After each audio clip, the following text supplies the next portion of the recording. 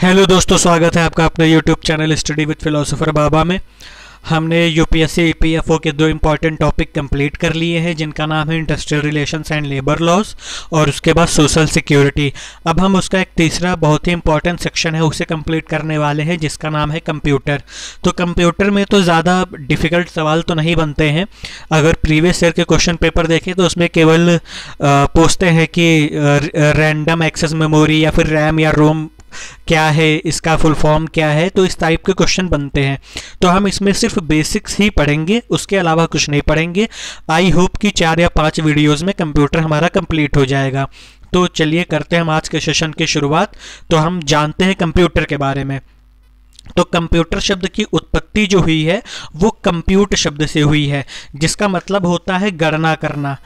और बोलचाल की भाषा में इसे एक कैलकुलेटिंग डिवाइस माना जाता है, जो कि एरिथमेटिक और लॉजिकल ऑपरेशंस को तेज़ी के साथ कर सकता है। लेकिन आज इसकी परिभाषा बदल गई है। क्यों बदल गई है? क्योंकि कंप्यूटर का अब सिर्फ़ उपयोग जो है, गणना करने तक, यानी कैलकुलेशन तक ही सीमित नहीं रह गया है, बल्कि हम इसके माध्यम से म्यूज़िक ग्राफिक्स इंटरनेट आदि कई अन्य अन्य क्षेत्रों में भी इसका उपयोग कर सकते हैं। और अब हम ये कह सकते हैं कि यह एक इलेक्ट्रॉनिक डिवाइस है जो डाटा को एक्सेप्ट करता है और एक एक डिस्क्रिप्टिव वे में स्टेप बाय स्टेप प्रोसेसिंग के बाद उसे इंफॉर्मेशन में बदलता है और आउटपुट रिज़ल्ट देता है और इस डाटा को एक्सेप्ट स्टोर और उन्हें मैनिपुलेट भी करता है।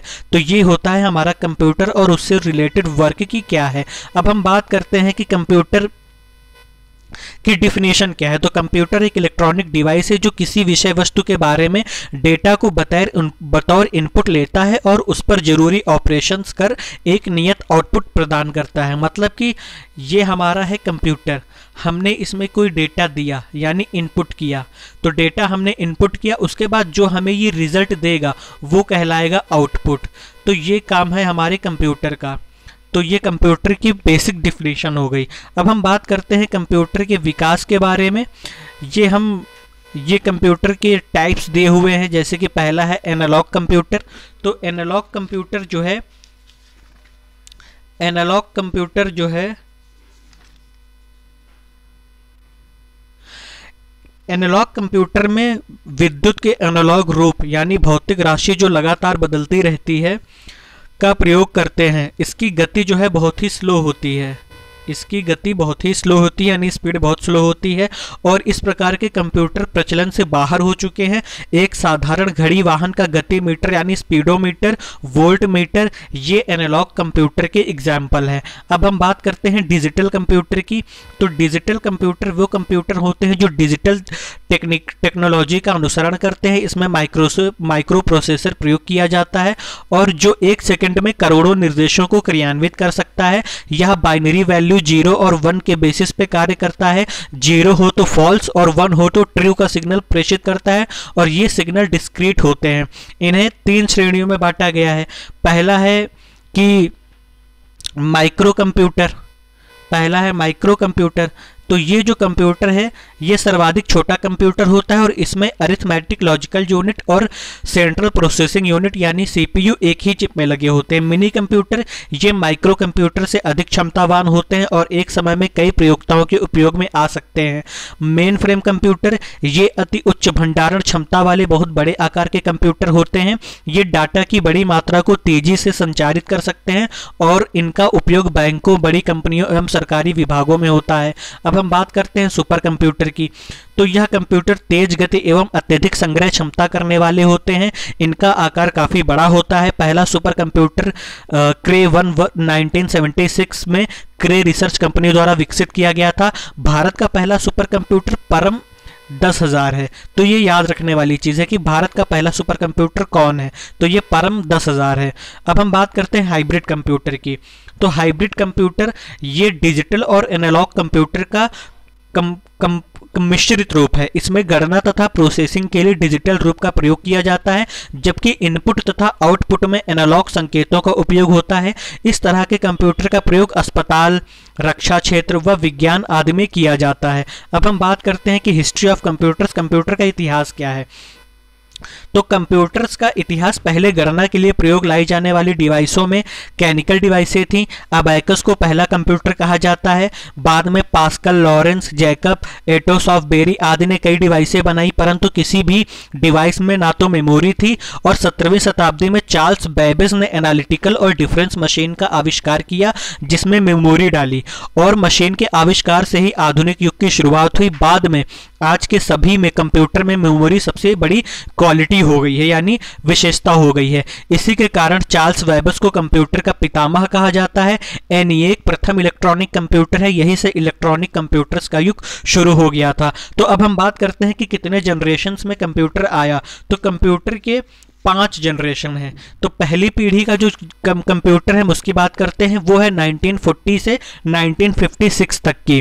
तो जो पहली पीढ़ी के कंप्यूटर थे, इसमें वैक्यूम ट्यूब्स का प्रयोग किया गया, इसमें मशीनी लैंग्वेज का प्रयोग किया गया, और इसमें भंडारण के लिए पंच कार्ड का प्रयोग किया गया। ये आकार में बड़े और अधिक ऊर्जा खपत करने वाले थे। एनिएक यूनिवैक तथा आईबीएम का मार्क फ़र्स्ट इसके एग्ज़ाम्पल हैं। 1952 में डॉक्टर ग्रेस हॉपर द्वारा असेंबली लैंग्वेज के आविष्कार से प्रोग्राम लिखना कुछ आसान हो गया। अब हम बात करते हैं सेकेंड जनरेशन की। तो वो है 1956 से 1963 तक। तो इसमें क्या हुआ था? इसमें निर्वात ट्यूब की जगह ट्रांजिस्टर का प्रयोग होने लगा और उसमें वो हल्के, छोटे और कम ऊर्जा खपत करने वाले थे। इनकी गति बहुत ही ज़्यादा तेज तेज थी और उसमें गलतियाँ होने की संभावना बहुत ही कम थी। पंच कार्ड की जगह चुंबकीय भंडारण उपकरणों का प्रयोग किया गया, जिससे भंडारण क्षमता और गति में वृद्धि हुई। बैच ऑपरेटिंग सिस्टम का आरंभ किया गया। सॉफ्टवेयर में कोबोल यानी कॉमन बिज़नेस ओरिएंटेड लैंग्वेज और फोल्ट्रॉन जैसे हाई लैंग्वेज का विकास आईबीएम द्वारा किया गया। इसमें प्रोग्राम लिखना आसान हो गया। अब जब थर्ड जनरेशन के कंप्यूटर आए 1964 टू 1971 के बीच में तो इसमें इसमें ट्रांजिस्टर की जगह पर इंटीग्रेटेड सर्किट का प्रयोग होने लगा, यानी कि आईसी का। इसमें सैकड़ों इलेक्ट्रॉनिक उपकरण जैसे ट्रांजिस्टर, प्रतिरोधक और कैपेसिटर एक छोटे चिप पर बने होते थे। प्रारंभ में स्मॉल स्केल इंटीग्रेशन और बाद में मीडियम स्केल इंटीग्रेशन का प्रयोग किया गया। इस पीढ़ी के कंप्यूटर हल्के, कम खर्चीले, तीव्र और अधिक विश्वसनीय थे। चुंबकीय टेप और डिस्क के भंडारण क्षमता में वृद्धि हुई, यानी रैंडम एक्सेस मेमोरी के कारण गति में वृद्धि हुई। हाई लैंग्वेज में पीएल वन और पास्कल तथा बेसिक का विकास हुआ। टाइम शेयरिंग ऑपरेटिंग सिस्टम का विकास हुआ। हार्डवेयर और सॉफ्टवेयर की अलग अलग बिक्री प्रारंभ हुई। इससे उपयोगकर्ता आवश्यकता अनुसार सॉफ्टवेयर ले सकता था। 1965 में 1965 में डीईसी यानी डिजिटल इक्विपमेंट कोर कोर और यानी कि डीईसी यानी डिजिटल इक्विपमेंट कोऑर्पोरेशन द्वारा प्रथम व्यवसायिकी मिनी कंप्यूटर पीडीपी 8 यानी प्रोग्राम्ड डाटा प्रोसेसर 8 का विकास किया गया। ये थी थर्ड जनरेशन के कंप्यूटर अब हम बात करते हैं फोर्थ जनरेशन के कंप्यूटरों की। तो फोर्थ जनरेशन के जो कंप्यूटर का टाइम है, वो 1971 से 1989 तक का है। तो इसमें एलएसआई तथा वीएलएसआई चिप और माइक्रो प्रोसेसर के विकास से कंप्यूटर के आकार में कमी तथा क्षमता में वृद्धि हुई। माइक्रो प्रोसेसर का विकास एम ई हॉफ ने 1971 में किया 1971 में एम ई हॉफ ने किया। इससे व्यक्तिगत कंप्यूटर का विकास हुआ। चुंबकीय डिस्क और टेप का स्थान अर्धचालक मेमोरी ने ले लिया। रैंडम एक्सेस मेमोरी की क्षमता में वृद्धि से कार्य अत्यंत तीव्र हो गया। उच्च गति वाले कंप्यूटर नेटवर्क जैसे लैन एवं वैन का विकास हुआ, यानी लोकल एरिया नेटवर्क और यानी वाइड एरिया नेटवर्क। ये था लैन लोकल एरिया नेटवर्क, ये था वैन, वाइड एरिया नेटवर्क। उसके बाद समानांतर कंप्यूटिंग तथा मल्टीमीडिया का प्रचलन प्रारंभ हुआ। 1981 में आईबीएम ने माइक्रो कंप्यूटर का विकास किया, जिसे पीसी कहा गया। सॉफ्टवेयर में ग्राफिकल यूज़र इंटरफेस के विकास ने कंप्यूटर के उपयोग को सरल बना दिया। ऑपरेटिंग सिस्टम में M S DOS Microsoft Windows तथा एप्पल ऑपरेटिंग सिस्टम का विकास हुआ। हाई लैंग्वेज में सी भाषा का विकास हुआ, जिसमें प्रोग्रामिंग ईजी थी।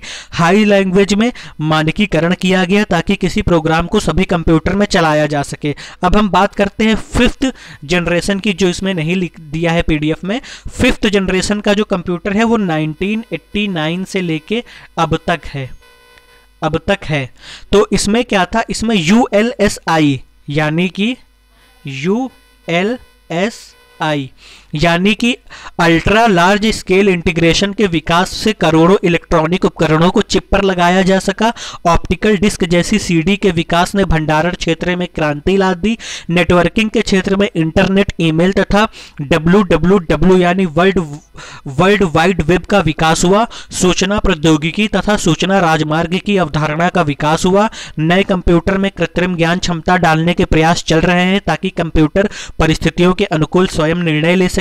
मैग्नेटिक बबल मेमोरी के प्रयोग से भंडारण क्षमता में वृद्धि हुई। पोर्टेबल पीसी और डेस्कटॉप पीसी ने कंप्यूटर को जीवन के लगभग प्रत्येक क्षेत्र से जोड़ दिया। तो ये थे हमारे जनरेशन ऑफ़ कंप्यूटर के। तो हम बात करते हैं कैरेक्टरिस्टिक्स ऑफ़ कंप्यूटर्स यानी कि कंप्यूटर के क्या गुण होती है।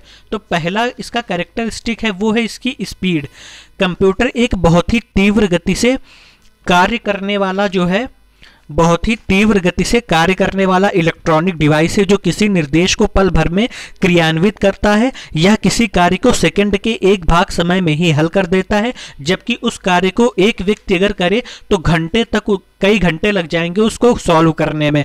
और ये जानकर आपको हैरानी होगी कि एक कंप्यूटर एक सेकंड के समय में एक मिलियन या उससे भी अधिक निर्देशों को क्रियान्वित कर सकता है।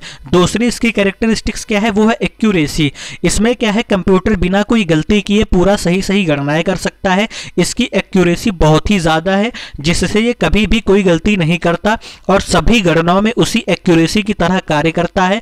कंप्यूटर में कोई गलती तभी आ सकती है जब व्यक्ति द्वारा गलत इनपुट या निर्देश दिए गए हों। यानी कि आप जब कोई गलत इनपुट या निर्देश दोगे तो ही कंप्यूटर में एरर आएगा, वरना वो एक्यूरेसी के साथ आपको डेटा प्रोवाइड कराएगा आउटपुट के फॉर्म में। इसकी अगली विशेषता है डिलीगेंस कंप्यूटर किसी भी कार्य को बिना थके लगातार कार्य कर सकता है। इसे भी किसी प्रकार की थकान या कमज़ोरी कभी नहीं होती है, जिससे यह किसी कार्य को बिना किसी रुकावट या गलती के लगातार कर सकता है। कंप्यूटर के इस क्षमता की वजह से मानव कार्य में काफ़ी विकास हुआ है।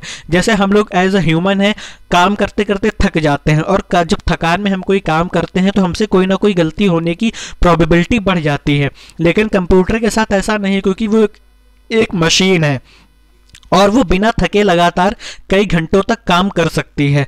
तो इस तरह से कंप्यूटर जो है, मानव मानवीय क्षेत्र में काफ़ी ज़्यादा इसने मानव की कार्यों को करने में काफ़ी ज़्यादा इसका विकास हुआ है और इसने बहुत तेज़ी दिखाई है। अगली इसकी कैरेक्टरिस्टिक्स है इसकी स्टोरेज कैपेसिटी कंप्यूटर में किसी भी प्रकार के डेटा या इंफॉर्मेशन को इसके मेमोरी में स्टोर कर सकते हैं। कंप्यूटर में मैग्नेटिक मीडिया स्टोरेज होते हैं जो अत्यधिक मात्रा में डाटा या सूचनाओं को परमानेंट सुरक्षित रखने की सहूलियत देते हैं। जैसे जैसे hard disk floppy disk optical disk इत्यादि, जिनकी मदद से आप कोई डाटा किसी एक स्थान से दूसरे स्थान तक ले जा सकते हैं। जैसे कि आप यूज़ करते हैं पेन ड्राइव का पीडी का तो सेम चीज़ है इसका। अगली है वर्सटैलिटी कंप्यूटर की एक बहुत अच्छी विशेषता इसकी विविधता है, जो एक ही समय में कई कार्य कर सकता है। जैसे अपने डॉक्यूमेंट ड्राफ्टिंग के दौरान गाने सुनना, कोई पेज प्रिंट करना, यह यूज़र पर निर्भर करता है कि वह कंप्यूटर सिस्टम पर किस तरह का कार्य कर सकता है, क्योंकि ये बिल्कुल अलग अलग तरह के कार्य करने में सक्षम है। अब हम बात करते हैं बेसिक एप्लीकेशन ऑफ़ कंप्यूटर की। तो सबसे पहला तो इसका वर्ड प्रोसेसिंग में प्रयोग होता है। वर्ड प्रोसेसिंग के द्वारा हम अपने दैनिक कार्यों को आसानी से कर सकते हैं, जैसे लेटर टाइपिंग रिज्यूमे तैयार करना आदि। कंप्यूटर स्वतः ही स्पेलिंग एवं ग्रामेटिकल गलतियों को स्वतः ही सुधार देता है। यदि डॉक्यूमेंट के कंटेंट रिपीट होते हैं तो आपको पुनः टाइप करने की आवश्यकता नहीं होती है। आप अपने डॉक्यूमेंट को जिस पर आप कार्य कर रहे हैं, आसानी से अपनी आवश्यकता के अनुसार फॉर्मेट कर सकते हैं।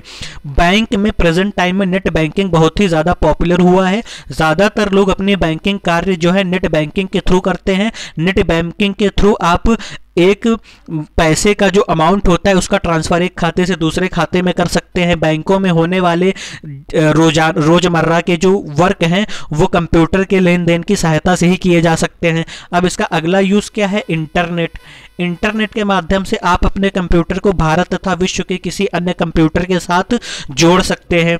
यह एक वैश्विक प्रणाली है कंप्यूटर नेटवर्क को आप, आप आपस में जोड़ने की। इसका जो आरंभ हुआ था वो 1970 और 1980 के दशक में हुआ था। इंटरनेट के माध्यम से आप अत्यधिक जानकारी प्राप्त कर सकते हैं और ये एक लाइब्रेरी से हम इसकी कंपैरिजन कर सकते हैं। इसके माध्यम से आप सूचनाओं को बहुत तेज़ी से एक्सेस कर सकते हैं।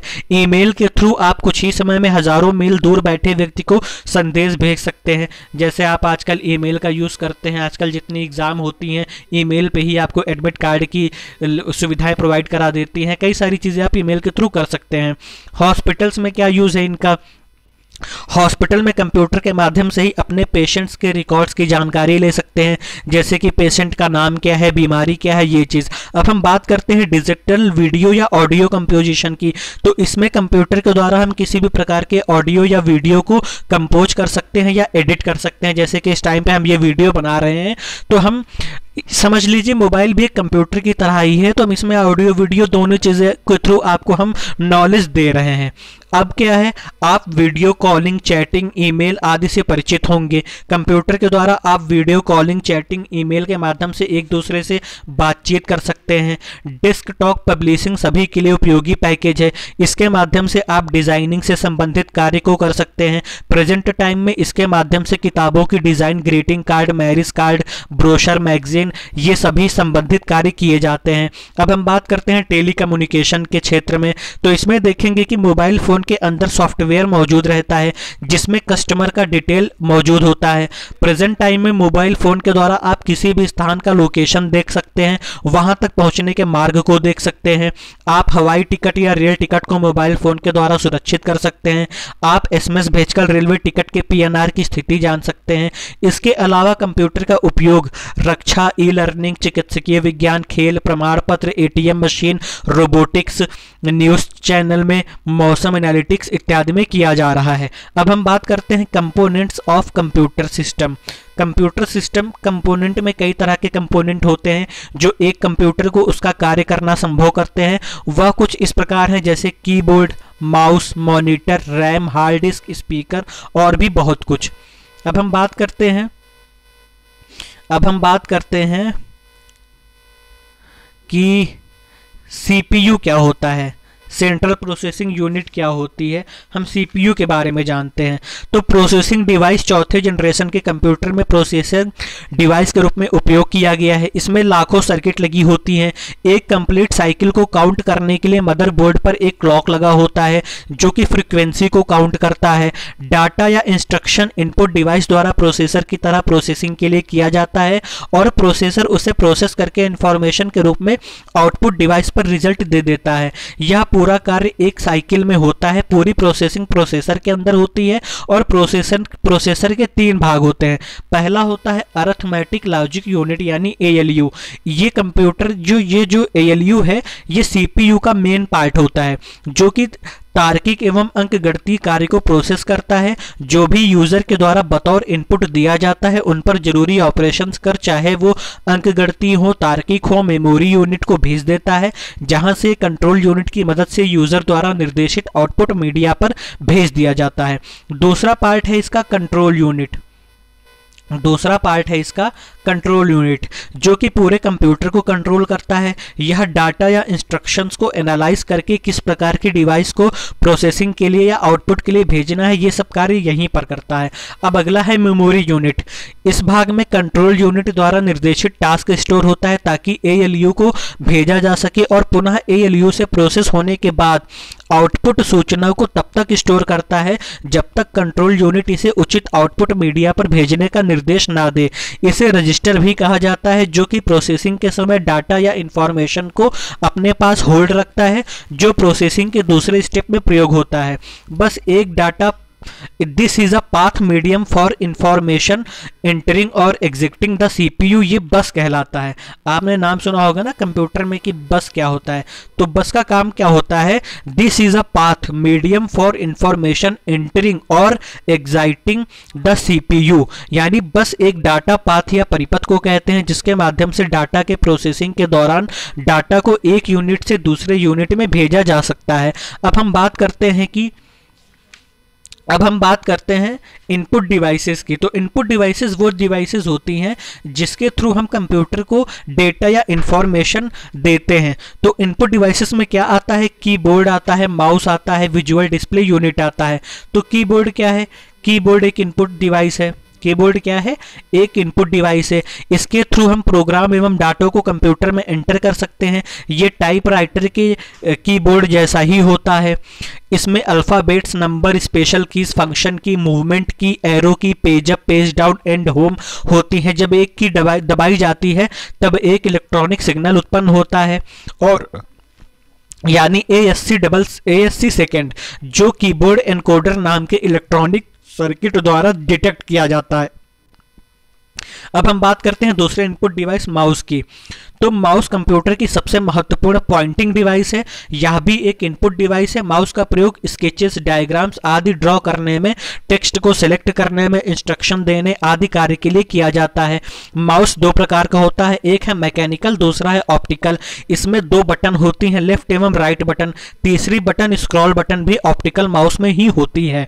अब हम बात करते हैं एक सॉफ्ट विजुअल आउटपुट डिवाइस अब हम बात करते हैं विजुअल डिस्प्ले यूनिट की, यानी कि वीडियो क्या होता है? यानी कि वीडियो क्या होता है? विजुअल डिस्प्ले यूनिट क्या होता है? यह एक सॉफ्टी विजुअल आउटपुट डिवाइस है और जिस पर आउटपुट को देखा जाता है, यह टेक्नोलॉजी के अकॉर्डिंग दो प्रकार का होता है। पहला CRT cathode ray tube. CRT technology इसमें कैथोड रे ट्यूब लगी होती है, जो इसमें कैथोड किरणें फ्लेरेंसेस स्क्रीन पर गिरती हैं और डिफ्लेक्ट होकर पिक्चर बनाती हैं। ये दो प्रकार के होते हैं। पहला मोनोक्रोम दूसरा colour monochrome black and white picture दिखाता है और कलर इसमें तीन प्रकार के फॉस्फोरस जो कि रेड ग्रीन और ब्लू रंग होने के कारण कलर पिक्चर बनाता है। अब हम बात करते हैं एलसीडी की। यानी कि एलसीडी क्या होता है? एलसीडी का मतलब होता है लिक्विड क्रिस्टल डिस्प्ले इसमें क्या होता है? LCD technology liquid crystal display technology light को मॉड्यूलेट करके पिक्चर बनाती है। थिन फ़िल्म ट्रांजिस्टर मैट्रिक्स तो बनाती है, परंतु मैट्रिक्स से लाइट नहीं निकलती है। लेकिन लाइट इमिटिंग डायोड में लाइट यहाँ से निकलती है और पिक्चर क्वालिटी काफ़ी अच्छी होती है। अब हम बात करते हैं अदर इनपुट डिवाइसेस की तो उसमें स्कैनर आ जाता है। ये हमारा स्कैनर आ जाता है। ट्रैक बॉल आ जाती है ठीक?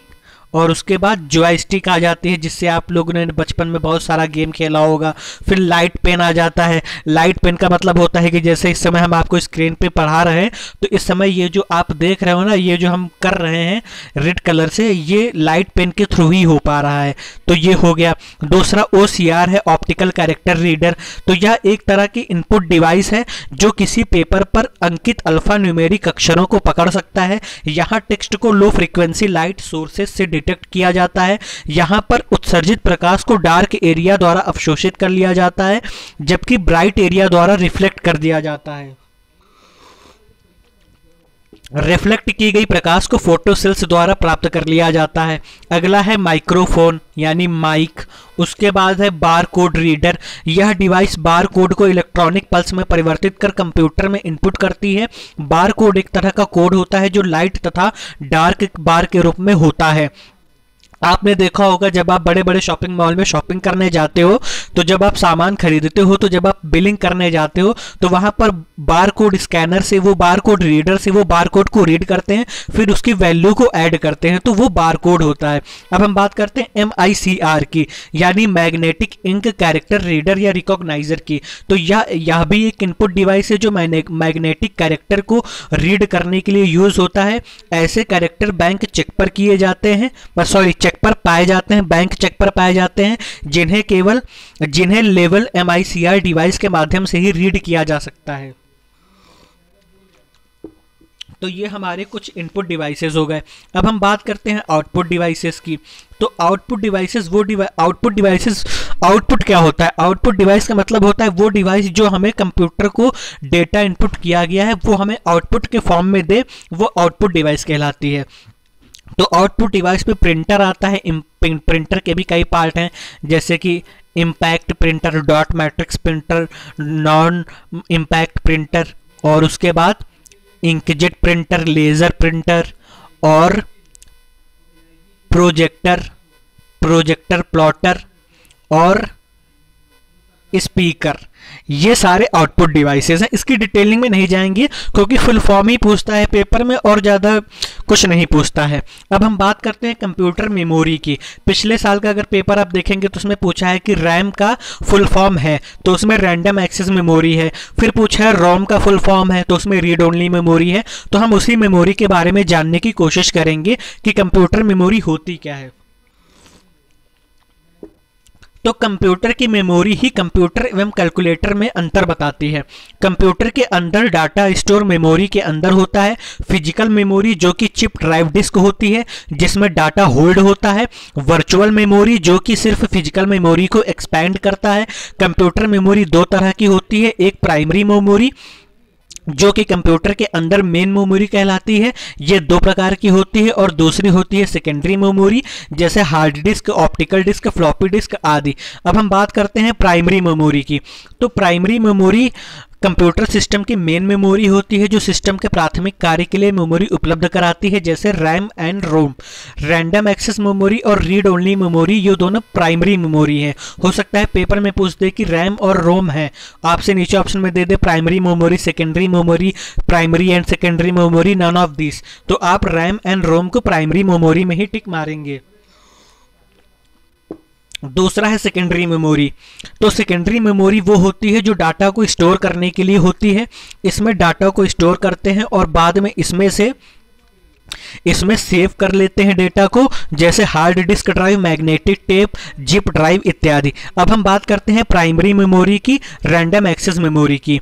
तो यह रीड राइट मेमोरी होती है, जिसमें डाटा टेम्परेरी होता है, जो कि पावर सप्लाई कटते ही डाटा मिट जाता है डाटा रैंडमली एक्सेस किया जाता है और सीपीयू से सीधा एक्सेस करता है। रैम दो प्रकार के होते हैं, एक होता है एस रैम जिसका मतलब होता है RAM static random access memory S RAM प्रायः इस्तेमाल होने वाले डी रैम की तुलना में ज़्यादा तेज होता है यह स्टैटिक रैंडम एक्सेस मेमोरी होती है इसकी स्पीड डी रैम से अधिक होती है कंप्यूटर में सामान्यतः यह कैश मेमोरी के रूप में लगी होती है। यहाँ स्टैटिक तथ्य का मतलब इस बात से है कि इसे डी रैम की तुलना में रिफ्रेश करने की ज़रूरत नहीं पड़ती है। Static random access memory cache memory की तरह ही उपयोग होता है जो सीपीयू में बतौर L1, L2 और L3 कैशे के रूप में पाई जाती है। अब हम बात करते हैं डी रैम की। कि डी रैम क्या होता है? तो डी रैम का मतलब होता है डायनेमिक रैंडम एक्सेस मेमोरी यह यह पर्सनल कंप्यूटर में ज़्यादा इस्तेमाल होता है, इसके कुछ प्रकार होते हैं। यह डायनेमिक रैंडम एक्सेस मेमोरी होती है यह एक इंटरवल के बाद रिफ्रेश होती रहती है। एस डी रैम की बात करते हैं तो यह सिंक्रोनिक डायनेमिक रैम होता है। यह एक नए तरह का डायनेमिक रैम होता है, जो तुलनात्मक बहुत तेज कार्य करता है। एस डी रैम वास्तव में सी पी यू के साथ सिंक्रोनाइज हो जाता है। अब हम बात करते हैं D D R two S D RAM की। तो यह एक डी रैम का प्रकार होता है, जो एस डी रैम की तुलना में ज़्यादा तेज कार्य करता है। तो जो रैंडम एक्सेस मेमोरी होती है ना, वो वोलाटाइल मेमोरी होती है। और जो रोम होती है, वो नॉन वोलाटाइल मेमोरी होती है, जिसे रीड ओनली मेमोरी कहते हैं। तो कंप्यूटर में कुछ सॉफ्टवेयर के रूप में डाटा चिप में स्टोर रहता है। ये चिप मेमोरी होती है, जिसके डाटा को यूज़र सिर्फ़ पढ़ सकता है। इसमें कोई चेंजेस नहीं कर सकता है। इसलिए इसे रीड ओनली मेमोरी कहा जाता है। मॉस्क रीड ओनली मेमोरी में निर्माता अपने बारे में लिखता है, जैसे डेल के कंप्यूटर में ऑन करने पर डेल का लोगो तथा अन्य कंपनी संबंधी जानकारी रीड ओनली मेमोरी में स्टोर रहती है। रोम के अन्य प्रकार हैं P ROM E P ROM double E P ROM आदि। B B I O S यानी बायोस क्या होता है? बेसिक इनपुट आउटपुट सिस्टम भी रीड ओनली मेमोरी ही होता है। अब हम बात करते हैं प्रोग्रामेबल रीड ओनली मेमोरी की यानी पी रोम की। तो यह रोम का एक प्रकार होता है जिसमें रोम बायोस से संबंधित सूचना को केवल एक बार ही प्रोग्राम किया जा सकता है, जिसमें आगे कोई परिवर्तन नहीं किया जा सकता है। अब हम बात करते हैं ईपी रोम की। तो ये erasable programmable read only memory है। यह एक विशेष प्रकार का प्रोम होता है जिसे पराबैंगनी किरण की मदद से मिटाया जा सकता है। जब इसे एक बार इरेज कर दिया जाता है तो फिर इसे पुनः प्रोग्राम किया जा सकता है। अब हम बात करते हैं डबल ई प्रोम की, यानी electrically erasable programmable read only memory की। तो यह भी प्रोम का एक प्रकार होता है, जिसे इलेक्ट्रिसिटी की मदद से इरेज किया जा सकता है और पुनः प्रोग्राम किया जा सकता है। अन्य प्रोम की तुलना में डबल ई प्रोम में डाटा पावर ऑफ़ के केस में भी डाटा को संजोए रखता है। रैंडम एक्सेस मेमोरी की तुलना में यह उतना तेज नहीं होता, पर यह फ्लैश मेमोरी की तरह ही होता है।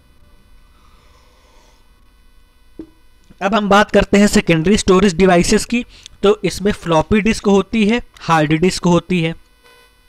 यानी सेकेंडरी स्टोरेज डिवाइसेस में फ्लॉपी डिस्क होती है हार्ड डिस्क होती है। अब हम बात करते हैं हार्ड डिस्क में कंपोनेंट क्या होते हैं? इसमें प्लेटर होता है, हेड्स होता है, ट्रैक्स होता है, सेक्टर होता है, क्लस्टर होता है, सिलेंडर होता है। अब हम बात करते हैं ऑप्टिकल डिस्क की, optical disk C D ROM की। ये भी पेपर में पूछा जा चुका है सी डी रोम का फुल फॉर्म क्या है? तो इसमें ऑप्टिकल डिस्क यह डाटा स्टोरेज का एक एडवांस टेक्नोलॉजी है, जिसमें डेटा को लेज़र बीम के थ्रू रीड और राइट किया जाता है।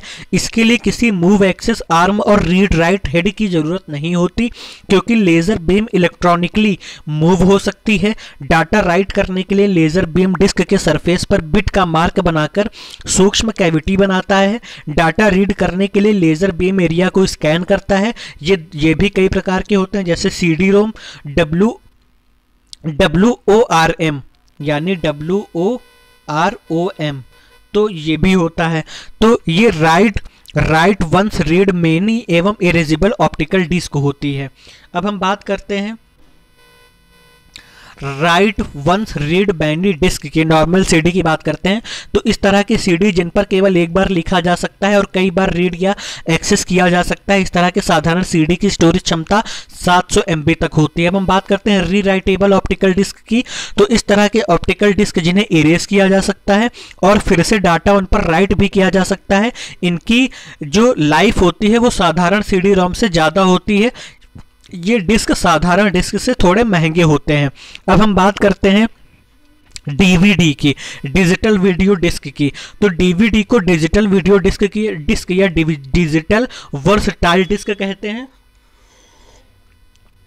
जो साधारण सी डी रोम की तुलना में ज़्यादा डाटा स्टोर करने की क्षमता रखते हैं, जो साधारणतः 4.7 जीबी या विशेष स्थिति में 45 से 50 जीबी तक डाटा स्टोर कर सकते हैं। ये बिल्कुल सी डी रोम की तरह दिखती है। एक डीवीडी को सी डी रोम ड्राइव से एक्सेस या रीड नहीं किया जा सकता है, क्योंकि इसमें पिट्स होते हैं। अब हम बात करते हैं यूएसबी थंब ड्राइव की। ये यूएसबी थंब ड्राइव है। ये पेन ड्राइव के जैसा है। इसे फ्लैश ड्राइव या पेन ड्राइव भी कहा जाता है, जो प्रचुर मात्रा में डाटा को स्टोर कर सकता है। डाटा की अत्यधिक मात्रा में सुरक्षित रखना हमेशा फ्लैश ड्राइव की क्षमता पर निर्भर करता है। यह एक पोर्टेबल डिवाइस होता है, इसे किसी भी कंप्यूटर सिस्टम में एक यूएसबी पोर्ट के माध्यम से जोड़ देते हैं और डाटा का लेन देन कर सकते हैं। यह एक प्लग एंड प्ले डिवाइस होती है, जो जिसे आप किसी भी सिस्टम में बिना समय गवाए तुरंत इस्तेमाल कर सकते हैं। इसलिए लोग इसे डाटा ट्रेवलर के नाम से भी जानते हैं। यानी पेन ड्राइव को क्या कहते हैं? Data traveller. क्यों? क्योंकि आप एक स्थान से दूसरे स्थान पर इसे ले जा सकते हैं। अब हम बात करते हैं concept of hardware and software की। तो हार्डवेयर और सॉफ्टवेयर का जो कॉन्सेप्ट है, वो कंप्यूटर के सभी पार्ट्स जिन्हें हम देख सकते हैं और हाथों से छू सकते हैं, उन्हें हार्डवेयर कहते हैं।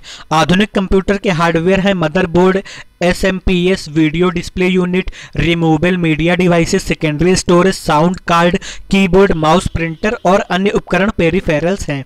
और सॉफ्टवेयर क्या होते हैं, जिन्हें हम कभी भी छू नहीं सकते हैं, वो सॉफ्टवेयर कहलाते हैं। सॉफ्टवेयर भी कई प्रकार के होते हैं, एप्लीकेशन सॉफ्टवेयर, सिस्टम सॉफ्टवेयर, और फिर आ जाती है हमारी प्रोग्रामिंग लैंग्वेज। तो प्रोग्रामिंग लैंग्वेज क्या होती है, इसमें कंप्यूटर के, के, केवल इलेक्ट्रॉनिक सिग्नल को ही समझता है यानी बाइनरी लैंग्वेज को ही समझता है। इसमें वन और ज़ीरो को ही समझता है। वन होगा तो ट्रू ज़ीरो होगा तो फॉल्स ये होती है इसकी language programming language programming language भी दो टाइप की होती हैं। High level language used by programmer जैसे कि COBOL Pascal C C plus plus Java net etcetera low level और machine level language there is a translator to translate high level to low level and vice versa तो ये होता है। अब हम बात करते हैं कंपाइलर क्या होता है। अब हम बात करते हैं कंपाइलर क्या होता है। तो कंपाइलर एक यूटिलिटी प्रोग्राम होता है जो सिस्टम जो सिस्टम सॉफ्टवेयर के अंतर्गत आता है कंपाइलर किसी हार्ड लेवल लैंग्वेज को लो लेवल लैंग्वेज यानी मशीन लेवल कोड में परिवर्तित कर देता है, जिससे यह आसानी से एग्जीक्यूट हो जाती है।